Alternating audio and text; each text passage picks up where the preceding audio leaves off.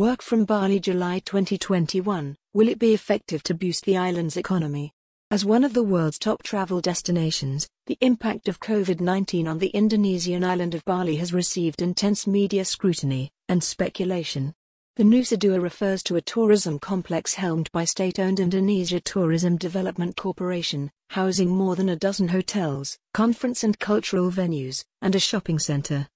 Among other facilities, Sandiaga Uno, who will be based in Bali until Saturday 30 January, revealed that one of the reasons for him working in Bali is to hear direct experiences and motivate the tourism and creative economy market to stay enthusiastic and be able to bounce back after the COVID 19 pandemic.